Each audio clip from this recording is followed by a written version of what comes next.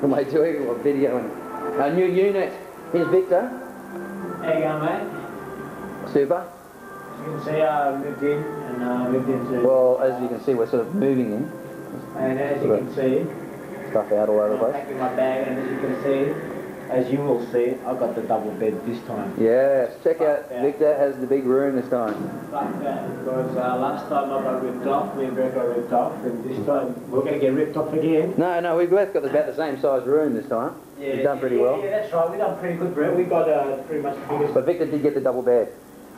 But uh, yeah, and um, I think someone deserves it to fucking get the dollhouse. And, and here's Paul. Dollhouse. Look, the fucking dollhouse! What do you want?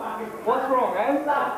Paul, Paul actually had a really unlucky day today. He did, he had a, a severely And unlucky this is what you call karma because he came in here by a taxi first to get the biggest room like he fucking did to the other place.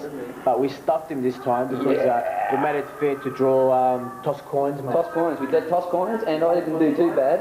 I lost the first toss to Victor, because he got that, that room, but that's good because I like my room. But this is, uh, this is view from the balcony. We actually have a balcony as well here. Plenty of entertainment here, live entertainment. Look, might be very far to go to take a taxi. This is uh, this is our lounge room, dining room, see Victor's room, the bathroom.